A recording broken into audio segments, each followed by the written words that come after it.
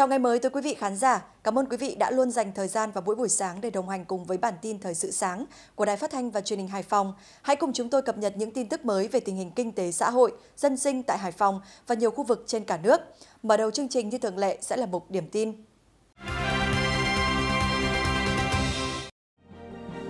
Tăng thêm 3 phà tải trọng lớn phục vụ du khách ra đảo Cát Bà dịp mùng 2 tháng 9.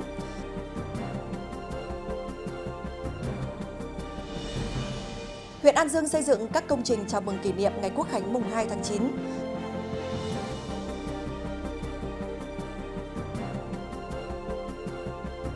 Huyện Thủy Nguyên tập trung cải cách thủ tục hành chính, góp phần phục vụ ngày càng tốt hơn nhu cầu của tổ chức cá nhân.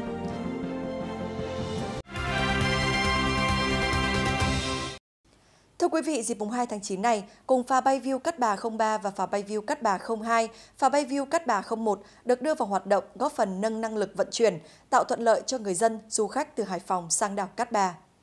Thông tin từ bến phà Đồng Bài Cái Viềng cho biết trong ngày đầu tiên của kỳ nghỉ lễ Quốc khánh mùng 2 tháng 9 đã không xảy ra tình trạng ùn tắc tại bến phà. Theo đó, Ban Quản lý Bến phà đã triển khai 5 phà lớn, bao gồm 3 phà mới có tải trọng gần 200 tấn và 2 phà cũ tải trọng 100 tấn, hoạt động liên tục để phục vụ nhu cầu đi lại của người dân và du khách đến và đi từ đảo Cát Bà. Lượng người và phương tiện tại bến phà khá đông nhưng giao thông vẫn diễn ra thông suốt. Người dân không phải chờ đợi lâu để lên phà. Nhân kỷ niệm 79 năm Quốc khánh mùng 2 tháng 9, huyện An Dương tổ chức khởi công một số dự án giao thông có ý nghĩa, trong đó có dự án nâng cấp đường giao thông, thực hiện xây dựng xã nông thôn mới kiểu mẫu tại xã Nam Sơn và xã An Đồng. Đây là hai xã đang thực hiện xây dựng nông thôn mới kiểu mẫu trong năm 2024. Dự án nâng cấp đường giao thông thực hiện xây dựng xã nông thôn mới kiểu mẫu tại xã Nam Sơn có tổng kinh phí đầu tư trên 132 tỷ đồng, Dự án đầu tư xây dựng 10 tuyến đường, tổng chiều dài toàn tuyến là hơn 7,1 km và hai tuyến điện chiếu sáng.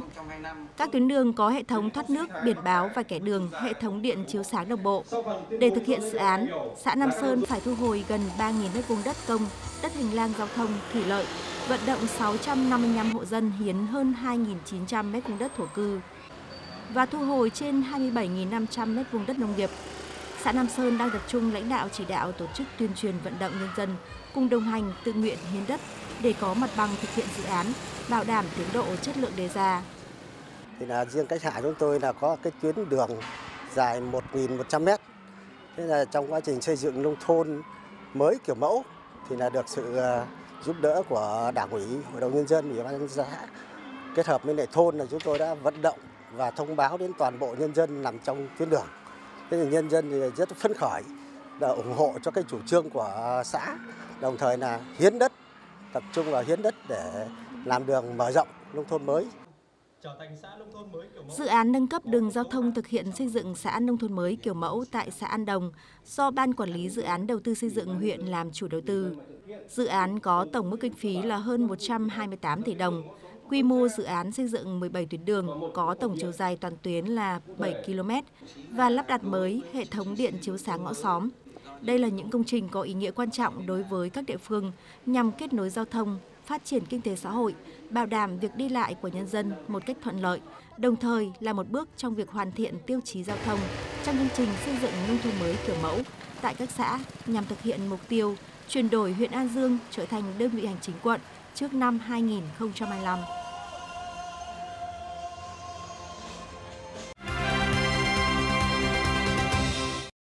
Với chiều dài kè bờ sông toàn tuyến dài gần 1 km, dự án chỉnh trang sông Tam Bạc giai đoạn 2, đoạn từ cầu Lạc Long đến cầu Hoàng Văn Thụ là công trình nâng cao khả năng kết nối, hoàn thiện hệ thống giao thông, chỉnh trang đô thị giải trung tâm thành phố, xây dựng đô thị lõi của thành phố hiện đại, văn minh. Những ngày nghỉ lễ mùng 2 tháng 9, dự án đang được quận Hồng Bàng và nhà thầu đẩy nhanh tiến độ thi công.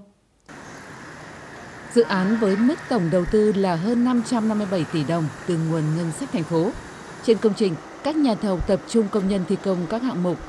Tại đoạn từ cầu Lạc Long đến Mom Thủy Đội, nhà thầu đã hoàn thành đóng cọc kè, lắp đặt và sơn hai lớp lan can bờ sông với chiều dài gần 560 mét. Nhà thầu cũng đã hoàn thành hạ tầng giao thông đoạn đường Nguyễn Thượng Hiền kết nối với tuyến đường Tam Bạc. Đến nay, tổng tuyến thi công vỉa hè được 1.000 m2 đạt gần 20% kế hoạch. Hệ thống lan can đã thi công được 26 phân đoạn, đạt 78% kế hoạch. Phần nền đường đã thi công 85% khối lượng công việc và thi công mặt đường bê tông nhựa đạt gần 40% kế hoạch đã đề ra. Ờ, cái chỉnh trang sông Tam Bạc giai đoạn 2 từ cầu Rạng Long đến cầu Hồng An Thụ đây là một cái công trình mà trọng điểm của thành phố trong năm 23 24 thì chúng tôi thấy là nhân dân rất phấn khởi và đây cũng là một cái tuyến phố đi bộ và cũng là một cái tuyến đường rất đẹp của thành phố. Và hiện nay thì chúng tôi chỉ dân rất phấn khởi và những người nhất là những người ở xung quanh đường.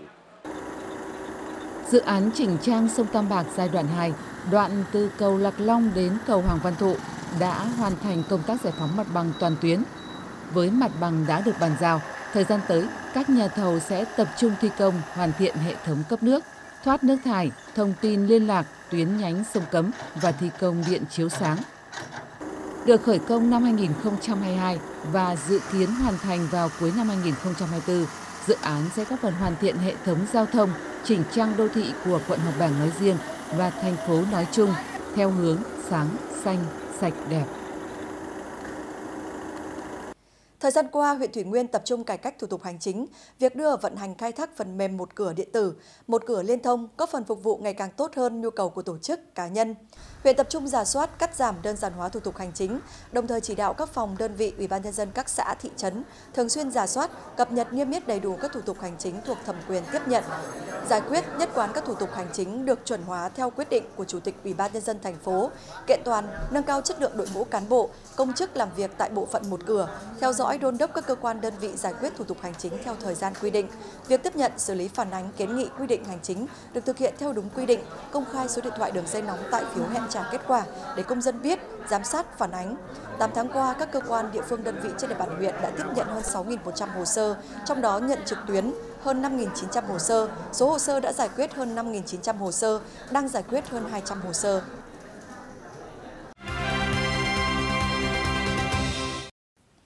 Qua 3 năm thực hiện nghị quyết số 03 ngày 26 tháng 10 năm 2021 của Ban Thường vụ Thành ủy về chuyển đổi số thành phố Hải Phòng đến năm 2025, định hướng đến năm 2030 bằng cách tiếp cận chủ động, linh hoạt, cách làm mới, sáng tạo, đa dạng, có trọng tâm, trọng điểm, quận Hồng Bàng đã đạt được những kết quả khả quan bước đầu về chuyển đổi số trên nhiều lĩnh vực.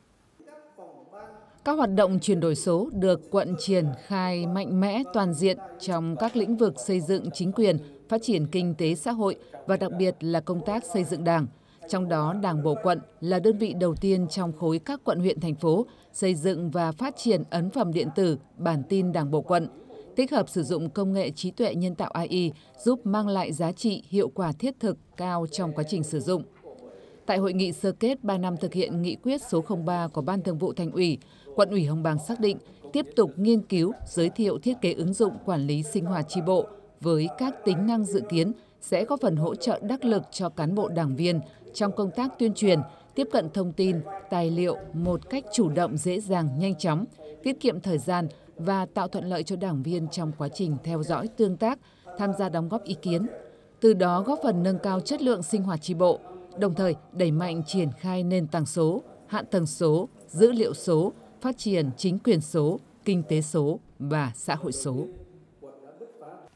140 người cao tuổi, người neo đơn, người có hoàn cảnh khó khăn, nạn nhân chất độc da cam, gia đình chính sách, người có công trên địa bàn quận Hải An vừa được các y bác sĩ của phòng khám đa khoa MedHomes thăm khám tầm soát các bệnh lý cơ bản, tư vấn cách chăm sóc sức khỏe, cập nhật kiến thức về các căn bệnh như tiểu đường, tim mạch, huyết áp, ung thư, phòng chống dịch bệnh sốt xuất huyết. Cùng với việc khám bệnh và tư vấn sức khỏe, Hội chữ thập đỏ thành phố, Hội chữ thập đỏ quận Hải An cũng phối hợp với nhà tài trợ trao tặng 140 phần quà với tổng trị giá gần 70 triệu đồng cho những người có hoàn cảnh khó khăn tham gia chương trình. Những hình ảnh vừa rồi cũng đã khép lại chương trình Thời sự sáng nay. Phần cuối bản tin sẽ là những thông tin về dự báo thời tiết. Chúc quý vị một ngày mới với nhiều niềm vui. Xin kính chào tạm biệt.